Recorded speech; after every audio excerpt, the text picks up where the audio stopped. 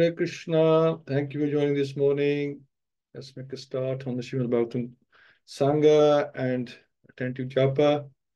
And uh, Pundikaksh Prabhu was saying he always looks forward to the at least the the japa we do together. We do japa in the morning and then he really enjoy the japa we do here. So hopefully be joining in a few minutes, but let's make a start. So today so wrapping up on the Priyavrat uh, dynasty. So we talk about so many uh, uh, personalities from the, especially Bharat Maharaj, you know, very, very important uh, for lesson for us. So which one the glories of descendants of King Priyavrat. So early in the week, uh, we were discussing Actually, Puri Mataji mentioned Raj Rishis. So Raj Rishis, very important that whoever is in charge, that there should be saintly kings or saintly nowadays prime ministers who can do good for the country instead of, you know, we find that a lot of the leaders that they tend to extort and, uh, you know, take advantage of their position. So it's nice that uh, you know we can have that Rajrishi um, situation.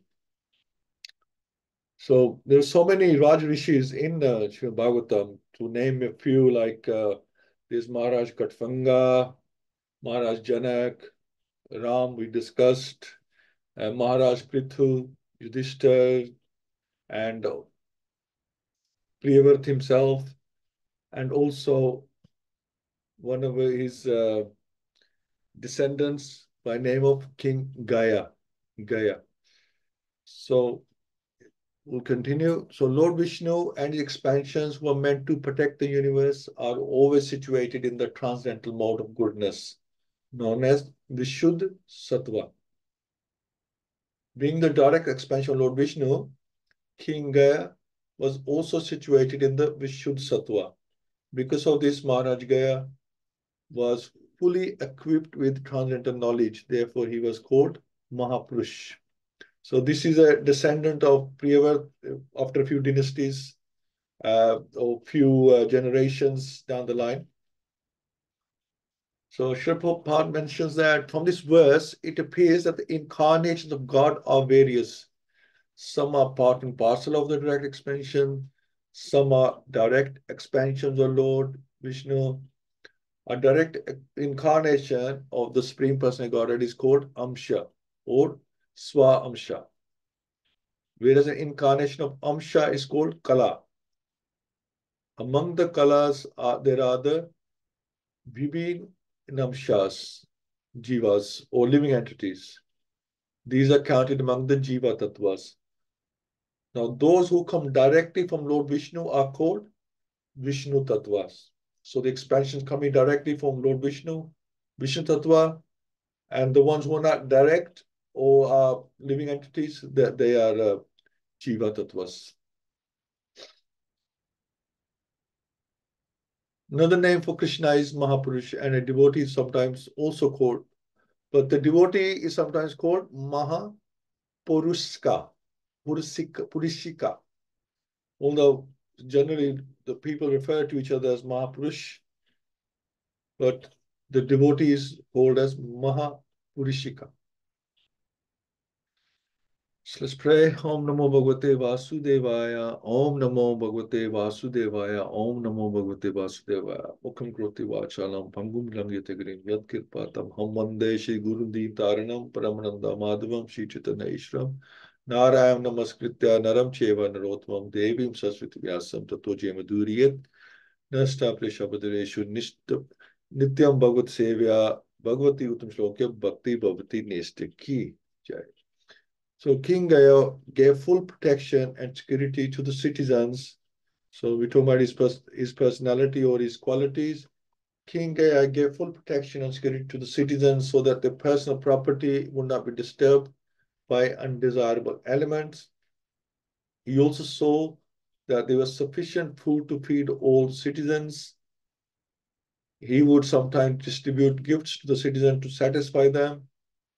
He would sometimes call meetings and sat satisfy the citizens with sweet words. He would also give them good instruction how to become first-class citizens. Such were the characteristics of King Gaya's royal order. So they have to do so many things to satisfy or keep them satisfied, you know, from time to time on a periodic uh, intervals. They have to make sure that they're doing something for the citizens, keep them excited, keep, keep them inspired. Besides all this, King Gaya was a householder who strictly observed the rules and regulations of household life. He performed sacrifices and was an unalloyed pure devotee of the Supreme Personality of Godhead. He was called Mahapurush because as a king, he gave the citizens all facilities. And as a householder, he executed all his duties so that at the end, he became strict devotee of the Supreme Lord. As a devotee, he was always ready to give respect to other devotees and to engage in the devotional service of the Lord. So these are like lessons for us as a devotee. Respect all of the devotees and engage in devotional service. This is the Bhakti Yoga process. Due to all these transcendental activities, King Gaya was always free from the body conception. He was full in Brahman realization and consequently he was always jubilant. He did not experience material lamentation. Although he was perfect in all respects, he was not proud, nor was he anxious to rule the kingdom. So he was not proud and he was not attached to anything, especially the kingdom that, oh, I'm a king and I, I have so much opulence. He was not attached to kingdom.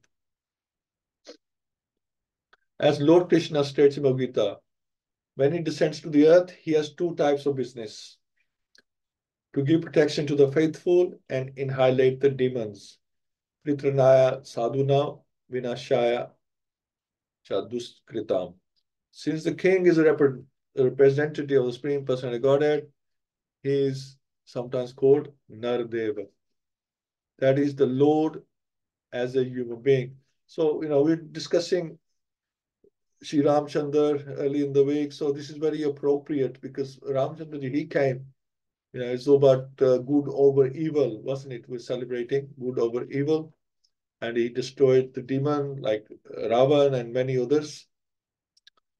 And now this is why we remember him that he he, he did you know wonderful pastimes and he and he did so much for the for the mankind when he was here.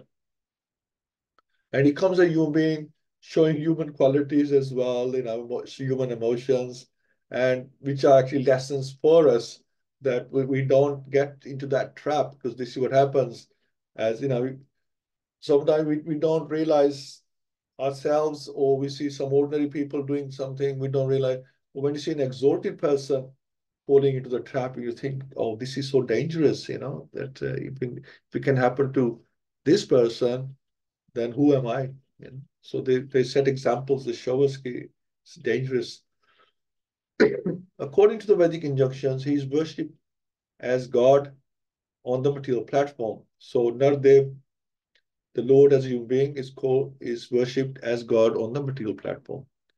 As a representative of the Supreme Lord, the king had the duty to protect the citizens in a perfect way, so that they would not be anxious for food and protection, and so that they would be jubilant the king would supply everything for their benefit. And because of this, he would levy taxes.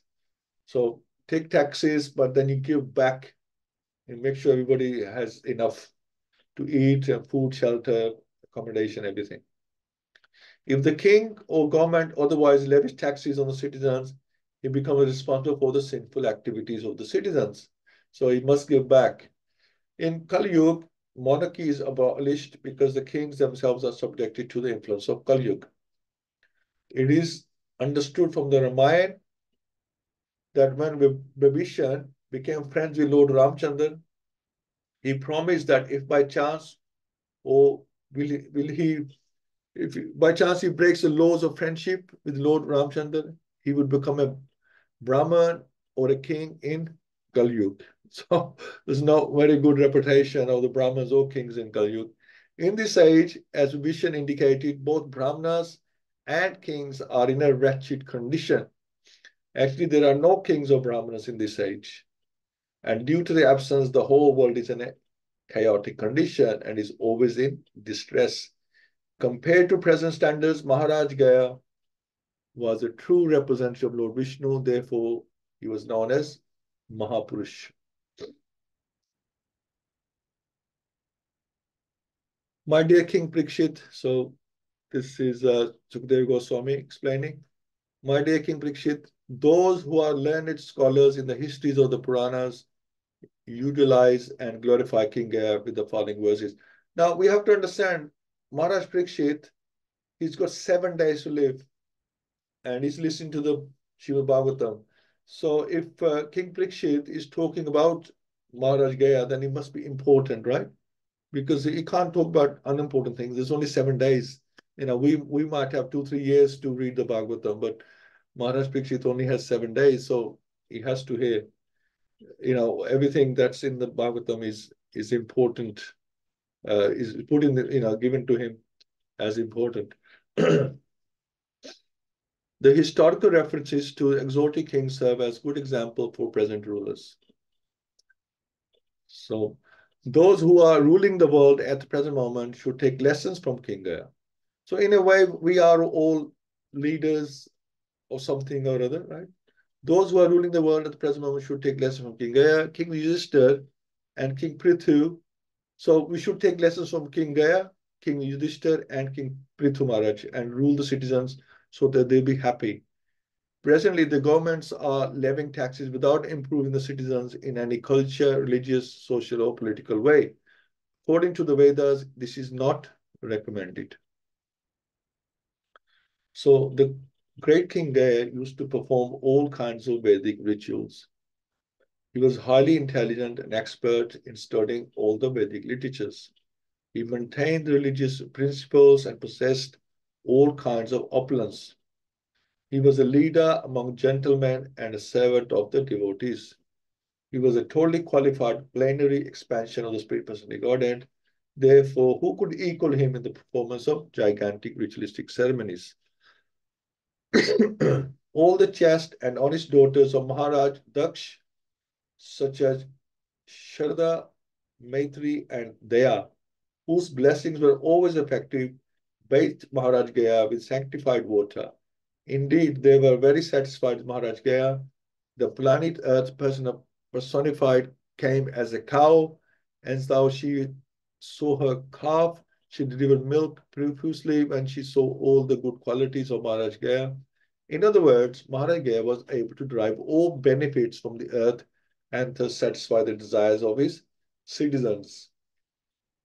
However, he personally had no desire. So everything was everything he was doing, he was doing for the benefit of his citizens. The earth on which Maharaj Gaya ruled is compared to a cow. So it is metaphor of a cow. A cow delivers milk in the presence of her calf.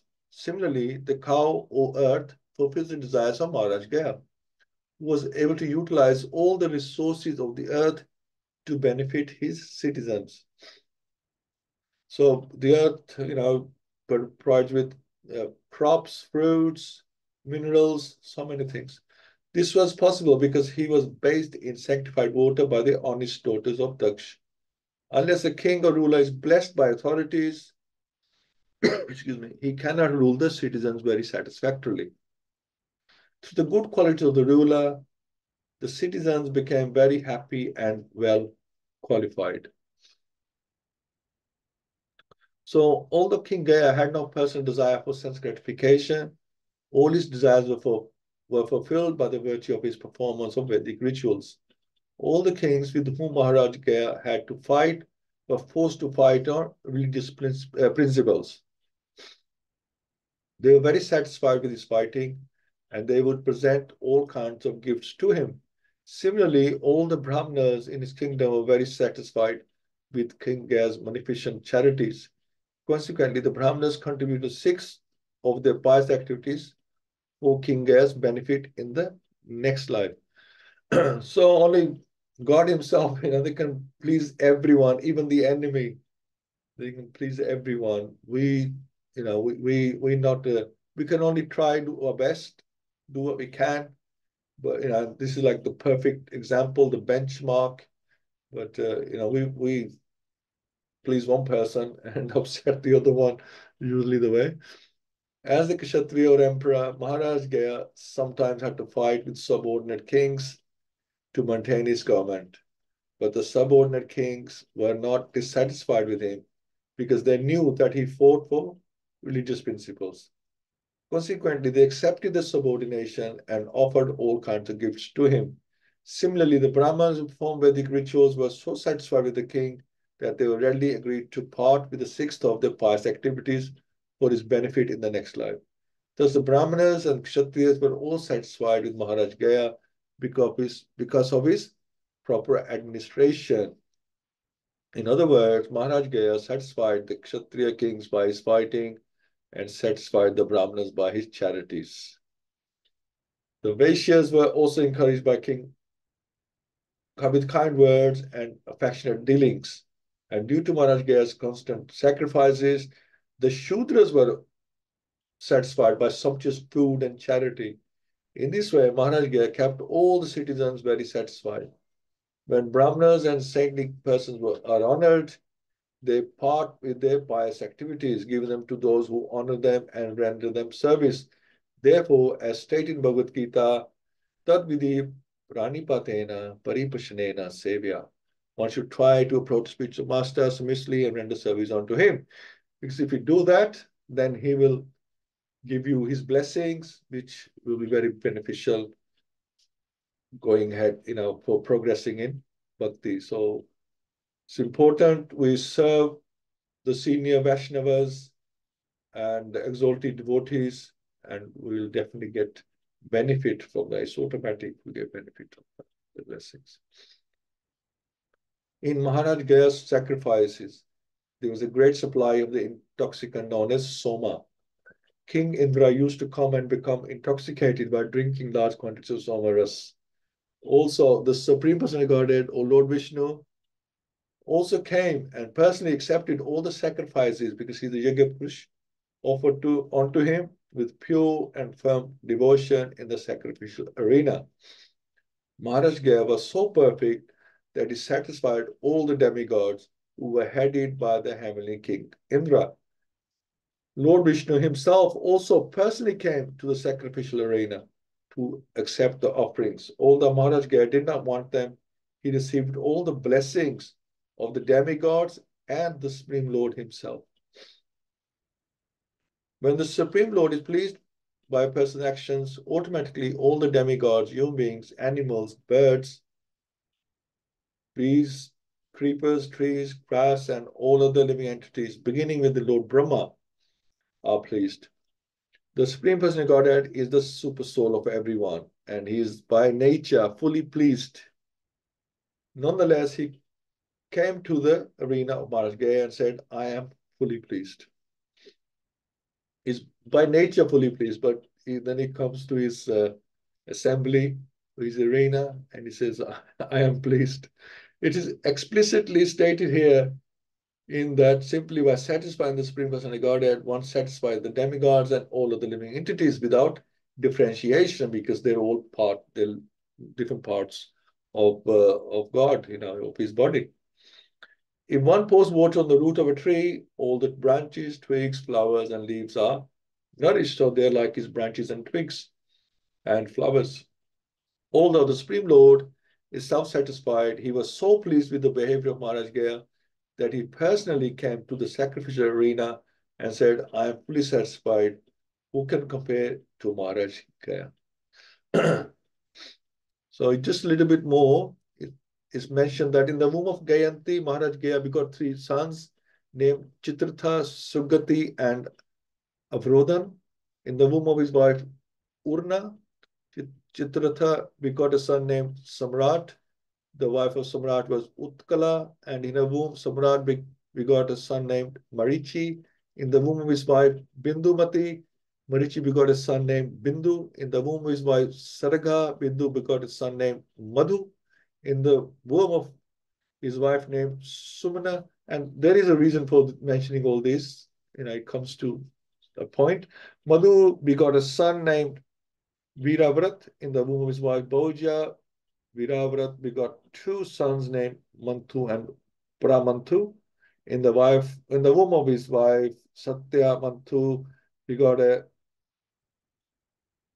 son named Bhavan. And in the womb of his wife Dushana, Bhavan begot son named Twista. So this is descendants and descendants. In the womb his wife Virochana, Twasta begot a son named Viraj. The wife of Viraj was Vishuchi, and in her womb Viraj begot 100 sons and one daughter. Of all the sons, the son named Satyajit was predominant. There is a famous verse about King Viraj because of his high qualities and wide fame. King Viraj became the jewel of the dynasty of King Priyavrat, just as Lord Vishnu. By his transcendental potency, decorates and blesses demigods. Within a garden, a flowering tree attains a good reputation because of its fragrant flowers. Similarly, if there is a famous man in a family, and obviously famous for good reasons, not for bad reasons, he is compared to a fragrant flower in a forest. Because of him, an entire family can become famous in history. Because Lord Krishna took birth in the Yadu dynasty, the Yadu dynasty and the Yadavs have remained famous for all time. Because of King Viraj's appearance, the family of Maharaj Priyavrat has remained famous for all time. King Uttanpad ruled over the universe because his elder brother Priyavrat practiced austerity from the very beginning of his life. So Maharaj, uh, originally just Priyavrat, or you could say sage Priyavrat, he, he was doing meditation and he's doing austerity. He wasn't interested in any rulership or uh, you know, any kingdoms. But then he was asked by Lord Brahma and his father Manu to rule the kingdom because there was no suitable king left.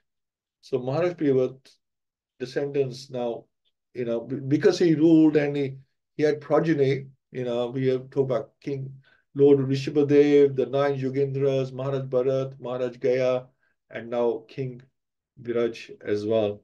So it was an amazing transformation and, uh, you know, it brought about so many great personalities just by and you could also say because they were Kshatriyas, and we've been talking a lot about this, because they were Kshatriyas, that was really his duty to rule. Kshatriya shouldn't really, although he was he was like behaving like a Brahman, right? Because he had Uttanpada as his brother ruling. But Kshatriya's duty is to rule and to fight. That's his rule, just like uh, Krishna told Arjun that you should be fighting. You should you can't you can't go to a forest and you know do your meditation and obtain knowledge. That that's that's not that's not you. You have your purification comes from fighting and ruling. So similarly, Priyavrat, when he ruled the kingdom and he and he ruled so nicely, so many personalities came in that kingdom, so many descendants. Thank you so much for joining. Hina Mataji, Jay Prabhu, Madhav Shamsundar Prabhu, Martha Prabhu, Praveen Mataji, Sarvashya Mataji. And uh, love to hear your views on this. Uh, Sarvashya Mataji, what do you think? Hare Krishna. Hare Krishna, everybody. Well, I mean, this is very exalted dynasty because uh, Gaya Maharaj came from uh, Manu dynasty. His, I think his grandfather was uh, from Bhaumani. And uh, in previous, previous yugas, the kings were called Raj Rishis. Uh, they were devotees of the Lord and they followed um, Bhagavad Dharma and uh, uh, they believe in God and they make sure that, that they, the citizens follow, follow the king. They also become devotees of Krishna. That was the main thing in previous yugas. And the citizens became all God conscious. They becoming Lord Chan- Chandras and um, Yudhishthir. They were all God conscious. Uh, the citizens were very happy, but in Kali one um, they're not happy because they're not protected. I mean, uh, in the name we got only the name king or queen, only name sake, but they don't protect the um, uh, uh, citizens. We are, we are all suffering. People are suffering, feeling things because no, but they just it's, it's this Kali Mm.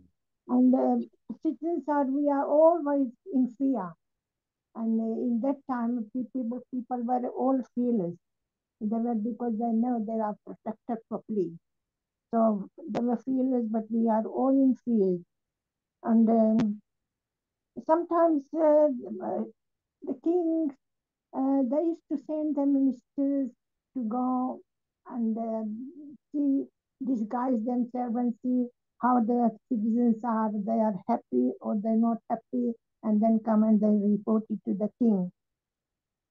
And um, the, these Raj they don't make their own decision. They had their guru. If they want to do anything, they go to the gurus and ask advice from the gurus what to do. And because the gurus were very learned, very intelligent people, they have read the Vedas, they have seen the tru- truth. Gurus, have seen the truth, so they go and ask the advice. And uh, what, what Guru tells them, they, they did it.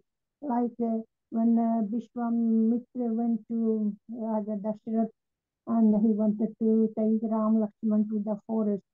King wasn't very, Raja Dasharath was very, wasn't very happy because he loved Lord Ram very much.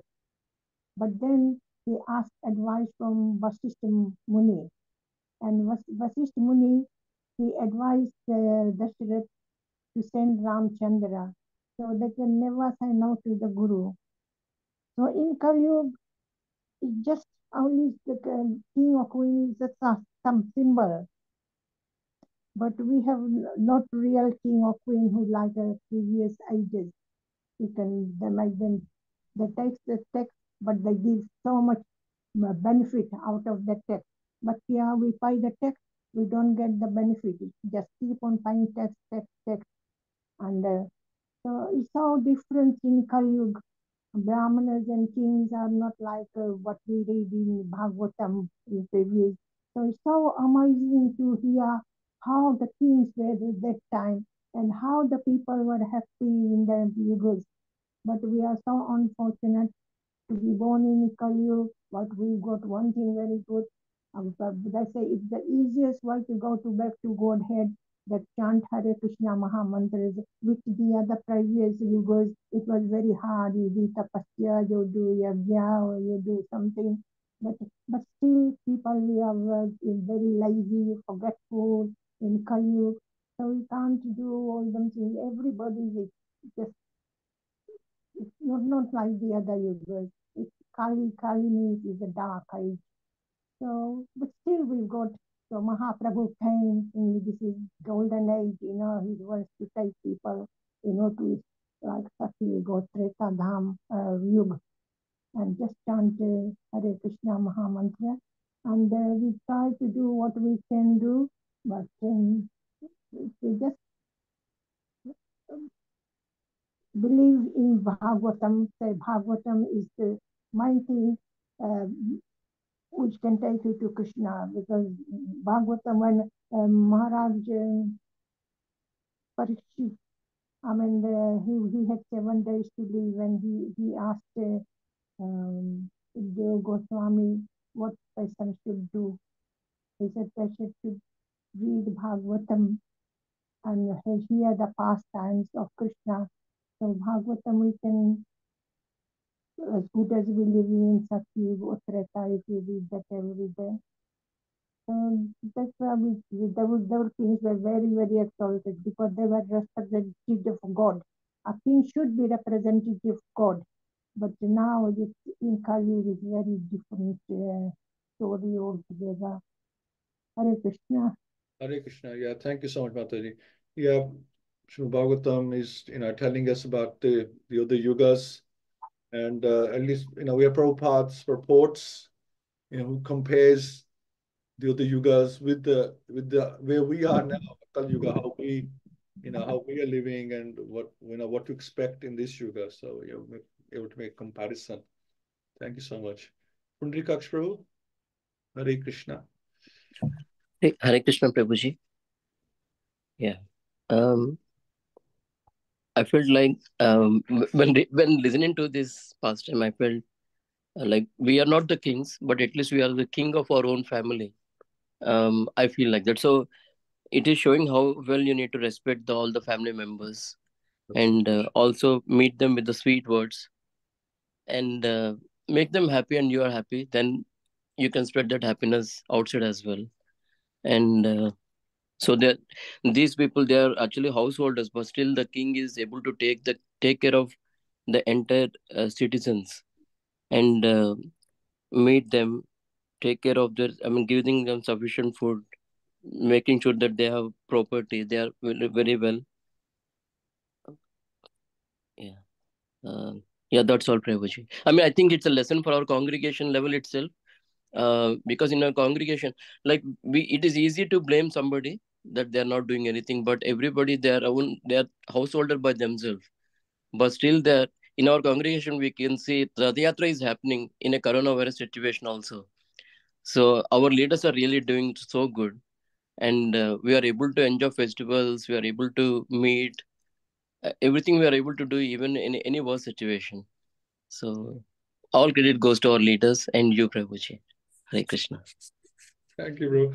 Uh, yeah uh, just going back to the kings the saintly kings uh, i mean you're right uh, you know we can do a little bit in our little circle that we have at least you know everybody does their little bit then you know the world is a better place.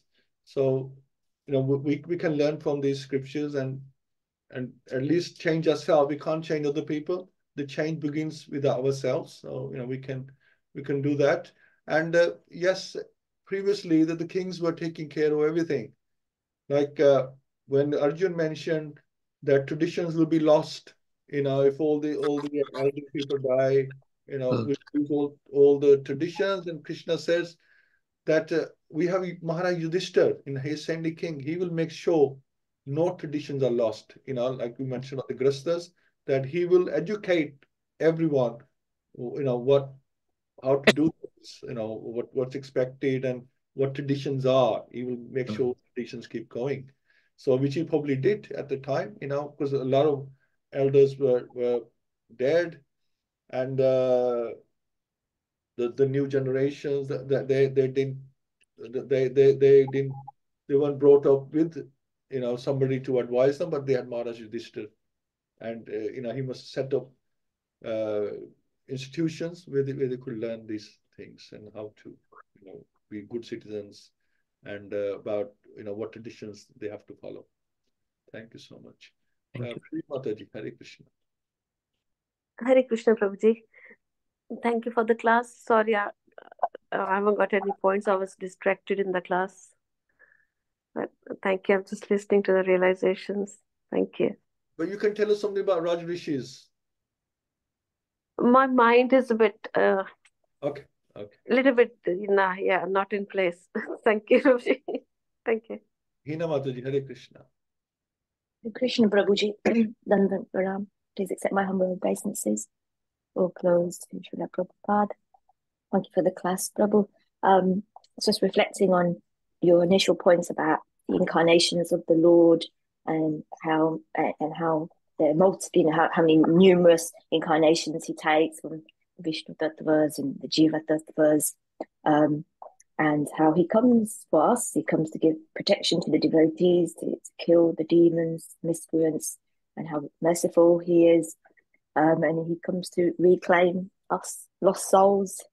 you know, you know, this is not our real home, as as Mataji said as well. That you know, the greatest benediction of this age, and despite the fact that this is Kali the greatest benediction that we have in this age is the the chanting of the of the Mahamantra the holy names um, and, and, and, our, and, our, and our sastras.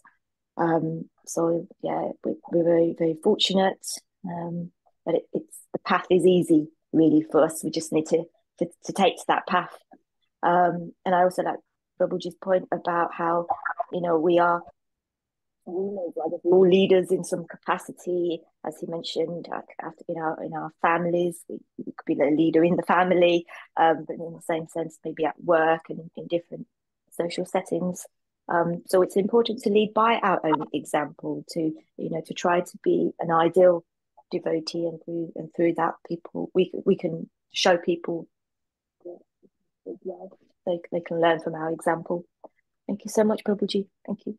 Thank you. Yeah, and uh, I think especially Mataji mentioned that uh, if you have saintly people in the family, then the generations will also follow the examples. And you see that in, in families who are like very loving, very caring, you find the children tend to be very loving and caring as well.